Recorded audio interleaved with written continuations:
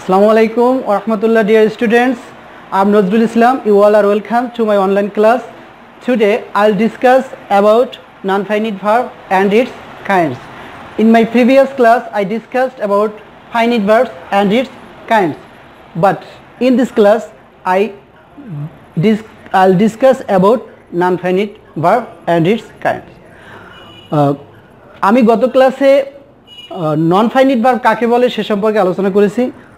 আজকে তোমাদের স্মরণ করিয়ে দেওয়ার জন্য নন ফাইনিট ভার্ব কাকে বলে সে সম্পর্কে আরেকটু আলোচনা করব। নন ফাইনিট ভার্ব হলো যে ভার্ব বাক্যের অর্থ সম্পূর্ণ করতে পারে না, তাকে নন ফাইনিট ভার্ব বলে। যেমন I want to play cricket এখানে এই প্লে এই প্লে দ্বারা বার্বের বাক্যের অর্থ সম্পূর্ণ হয়নি। এই জন্য এই প্লে হলো নন ফাইনিট ভার্ব আবার যদি আমি টেন্স এবং নাম্বার অনুযায়ী পরিবর্তন করি, যেমন এই সেন্টেন্সটাকে যদি আমি পাস্ট পারফেক্ট টেন্সে লিখি, তাহলে হবে I had wanted to play এখানে দেখো, এই প্লে ভার্বের টেন্সের পরিবর্তনের পরও প্লে ভার্বের কোনো পরিবর্তন হয়নি। সেক্ষেত্রে এখানে প্লে ভার্বটা হলো নন ফাইনিট ভার্ব এবারে আমরা নন ফাইনিট ভার্বের প্রকারভেদ নিয়ে আলোচনা করব। নন ফাইনিট ভার্বকে তিন ভাগে ভাগ করা যায়, যথা gerund infinitive participle gerund infinitive participle এই পার্টিসিপলকে আবার তিন ভাগে ভাগ করা যায়, যথা present participle first participle perfect participle তো জিরান কাকে বলে? জিরান এর কথা আসলে আমরা বলতে পারি যে V one plus ING gerund মানে ভি ওয়ান প্লাস আইএনজি অর্থাৎ মূল বার্বের সাথে আইএনজি যোগ করে যে বার্ব গঠিত হয়, সেটাকে বলা হয় জিরান। তাহলে আবার এখানে যেমন প্রেজেন্ট পার্টিসিপল আছে, এখানেও ভি ওয়ান প্লাস আইএনজি আমরা জিরান এবং প্রেজেন্ট পার্টিসিপলের ক্ষেত্রে দেখতে পেলাম এখানেও V one plus I N G এখানেও V one plus I N G তো V one plus I N G উভয় ক্ষেত্রে হলে এটা কীভাবে জিরান হলো, এটা কীভাবে পার্টিসিপল হলো বা প্রেজেন্ট পার্টিসিপল হলো, এরকম একটা প্রশ্ন তোমাদের বোর্ডে জাগতে পারে। এই বিয়ন প্লাস আইএনজি জিরানের ক্ষেত্রে এবং পার্টিসিপলের ক্ষেত্রে পার্টস অফ স্পিচের ক্ষেত্রে ভিন্ন অর্থ প্রকাশ করবে, অর্থাৎ ভিন্ন পার্টস অফ স্পিচ হবে। ভিওয়ান প্লাস আইএনজি যদি একসাথে নাউন এবং ভার্বের কাজ করে। তবে সেক্ষেত্রে সেটা হবে জিরান। আর এক্ষেত্রে ভার্ব প্লাস অ্যাজেক্টিভের কাজ যদি করে, তাহলে সেটা হবে প্রেজেন্ট পার্টিসিপল। আর ভার্বের সাথে আইএনজি যোগ করে সেটা যদি একসাথে ভার্ব এবং জিরানের কাজ করে, তাহলে সেক্ষেত্রে সেটা হবে নাউন এবং ভার্বের কাজ করে, সেক্ষেত্রে সেটা হবে জিরান। যেমন আমি লিখতে পারি walking is good for health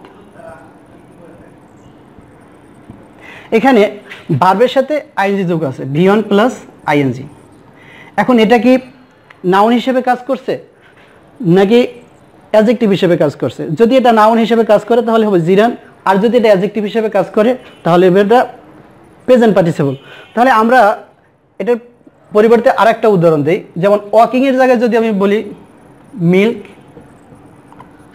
is good for health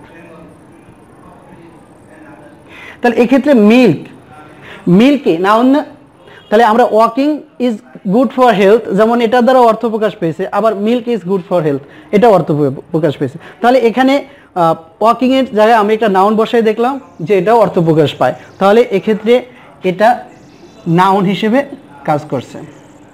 অর্থাৎ ভার্বের সাথে আইনজি যোগ করার পরে এটা নাউন হিসেবে কাজ করেছে। এই জন্য এটা হলো জিরান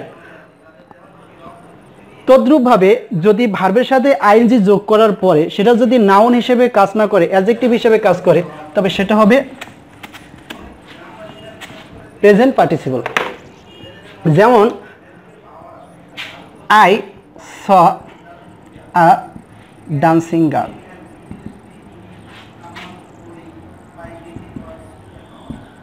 I saw a dancing girl এখানে দেখো ডান্স তার সাথে আইজি ডুগাস অর্থাৎ ভি ওয়ান প্লাস আইএনজি এবং তারপর আছে নাও, অর্থাৎ আমি একজন নাচন্ত বালিকাকে দেখলাম, অর্থাৎ যে নাচে, এখানে এটা হলো অ্যাজেক্টিভ হিসেবে কাজ করছে, কারণ এই ড্যান্সিং অ্যাজেক্টিভে নাউনের পূর্বে বসে ওই নাউনকে মডিফাই করেছে অথবা নাউনকে নির্দেশ করেছে।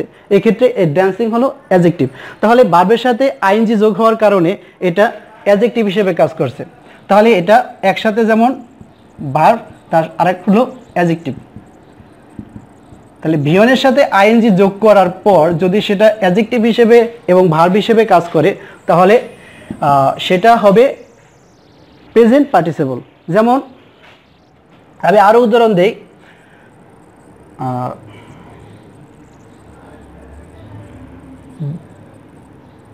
আই স রানিং বাস এখানে রানিং এটাও চলন্ত গাড়ি। গাড়িটা কি অবস্থায় আছে? চলন্ত অবস্থায় আছে। এখানে রানিং অ্যাজিটিভ হিসেবে কাজ করেছে। একই সাথে এটা ভার্ব হিসেবেও কাজ করেছে। এই কারণে রানিং হলো প্রেজেন্ট পার্টিসিপল তাহলে আমরা প্রেজেন্ট পার্টিসিপল এবং জিরান সম্পর্কে জানলাম। এবারে আমরা জানব ইনফিনিট ইনফিনিটিভ সম্পর্কে। তাহলে ইনফিনিটিভ হলো, আমরা সেন্টেন্সে টু থাকলে তারপরে যে ভার্বটা হবে, সে ভার্বটা বেস ফর্ম হবে। এই টু এর পরে যে ভার্বের বেস ফর্ম বসে, এটাকেই বলা হয় ইনফিনিটিভ যেমন আমি বলতে পারি he wants to help the few এখানে টু এর পরে মূল ভার্বের বেস ফর্ম কাজ করছে। সেক্ষেত্রে এই হেল্প হলো ইনফিনিটিভ আবার বলতে পারি he decided decided to open a bank. এখানে টু এর পরে মূল ভার্বের বেস ফর্ম হয়েছে। এই জন্য এটা হলো ইনফিনিটিভ তাহলে ইনফিনিটিভ মানে হলো টু এর পরে যে ভার্বের বেস ফর্মটা বলে, বসে, সেটাই হলো ইনফিনিটিভ এখন কোনো কোনো ক্ষেত্রে দেখা যায় যে ইনফিনিটিভের অর্থ প্রকাশ করে, কিন্তু টু বসে না। সেক্ষেত্রে এই ইনফিনিটিভকে বলা হয় বেয়ার ইনফিনিটিভ অর্থাৎ টু থাকবে না, কিন্তু ইনফিনিটিভ থাকবে না সরাসরি, কিন্তু ইনফিনিটিভের অর্থ প্রকাশ করবে। যেমন আমি লিখতে পারি he made me made me drive a car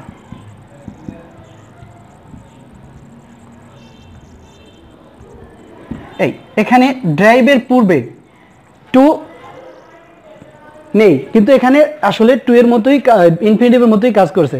সেক্ষেত্রে এটাকে বলা হয় bare infinitive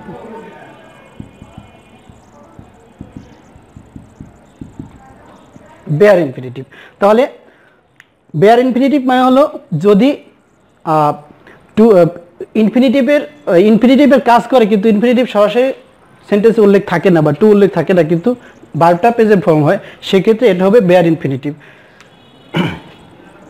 I need not do the work এখানে এই do bare infinitive I let him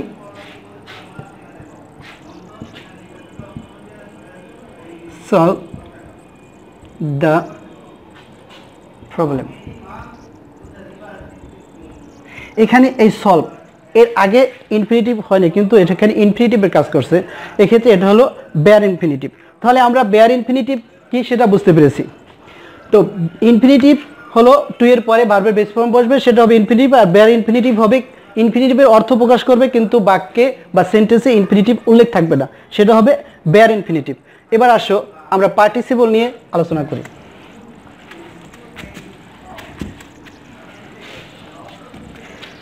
participle কাকে বলে? আসলে পার্টিসিপল হলো সেই ভার্ব যে ভার্বগুলো সেন্টেন্সে বসে অ্যাজেক্টিভের কাজ করে। ভার্বটা ভার্ব এবং একসাথে অ্যাজেক্টিভের কাজ করে, সেটা হলো পার্টিসিপল যেমন, আমি আগে উদাহরণ দিয়েছিলাম I saw a dancing girl এখানে এই ডান্সিং অ্যাডজেক্টিভের কাজ করছে এই জন্য এটা পার্টিসিপল আবার লিখতে পারি polluted water water is harmful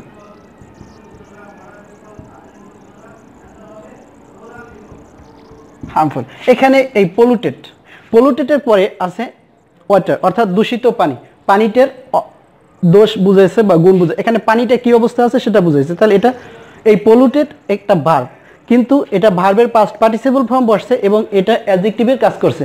এই জন্য এটাকে বলা হয় পার্টিসিপল তাহলে আমাদের এই পার্টিসিপলটাকে আবার তিন ভাগে ভাগ করেছে, সেটা আগেই বলেছি যে প্রেজেন্ট পার্টিসিপল পাস্ট পার্টিসিপল আর পারফেক্ট পার্টিসিপল তাহলে প্রেজেন্ট পার্টিসিপল কাকে বলে? সে সম্পর্কে আমি ইতিমধ্যে আলোচনা করেছি। অর্থাৎ বিয়নের সাথে আইএনজি যোগ করার পর যদি একই সাথে অ্যাডজেক্টিভ এবং ভার্ব হিসেবে কাজ করে, তবে সেটা হবে present participle past participle past participle হলো ভার্বের যে তিনটা ফর্ম থাকে present form past form past participle form সেই পাস্ট পার্টিসিপল ফর্ম কিন্তু এখানে পাস্ট পার্টিসিপলের ক্ষেত্রে এই পাস্ট পার্টিসিপলটা আমাদের অ্যাডজেক্টিভ হিসেবে কাজ করবে। যেমন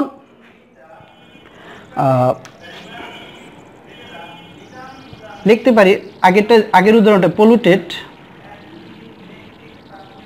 polluted water is harmful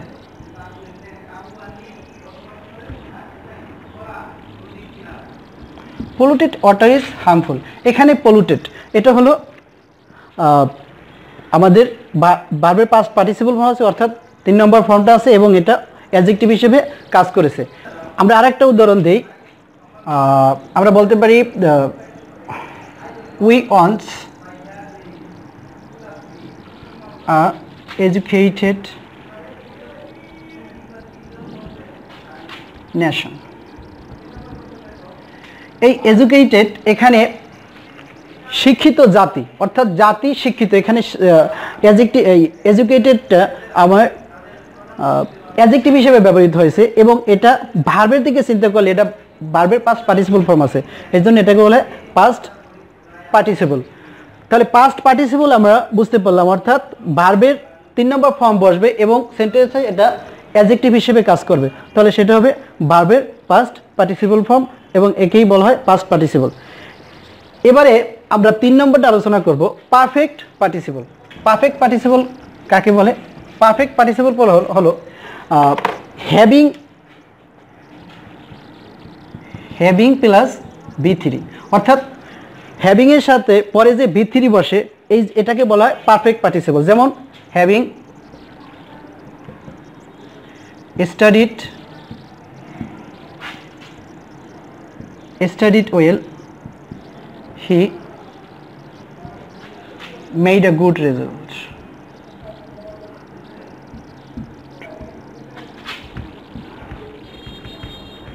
Having studied well he made a good result এখানে দেখো হ্যাভিং এর পরে বি থ্রি বসছে।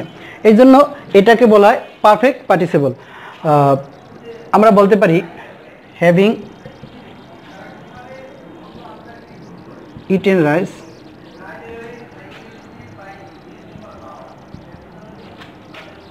I went to play. Having eaten rice having এর পরে বি থ্রি বসছে এর জন্য এটাকে বলা হয় past past participle perfect participle এবং এভাবে আমরা হ্যাভিং এর পরে বি থ্রি বসিয়ে পারফেক্ট পার্টিসিপল গঠন করা যায়। তাহলে এ হলো মোটামুটি আজকে আমাদের আলোচনা, অর্থাৎ নন ফাইনিট ভার্বের আলোচনা। নন ফাইনিট ভার্বটা তিন প্রকার, যথা জিরান ইনফিনিটিভ পার্টিসিপল এই পার্টিসিপলকে আবার প্রেজেন্ট পার্টিসিপল পাস্ট পার্টিসিপল এবং পারফেক্ট পার্টিসিপল এই তিন ভাগে ভাগ করেছে। প্রত্যেক প্রত্যেক প্রকারের ভার্বগুলোকে আমি ব্যাখ্যা করে বুঝিয়েছি এবং উদাহরণ সহকারে বুঝিয়েছি। আশা করি তোমরা সকলেই এটা বুঝতে পেরেছ। প্রিয় শিক্ষার্থী, আশা করি আমার আজকের ক্লাস তোমরা সুন্দরভাবে বুঝতে পেরেছ। যদি তোমাদের কোনো সমস্যা হয়, তাহলে তোমরা জানাতে পারো। আমরা চেষ্টা করব তোমাদের সমস্যার সমাধান করতে। এম এম স্টাডি জোনের চ্যানেলটা তোমরা অবশ্যই সাবস্ক্রাইব করবে। পাশে থাকা বেল আইকনটা ক্লিক করে তোমাদের পরবর্তী যাতে ভিডিওগুলো তোমাদের কাছে যায়, সেজন্য বেল আইকন ক্লিক করবে। তো আমি পরবর্তীতে অন্য কোনো ক্লাস নিয়ে তোমাদের কাছে হাজির হব। ততক্ষণ পর্যন্ত সবাই ভালো থাকো, সুস্থ থাকো। খোদা হাফেজ।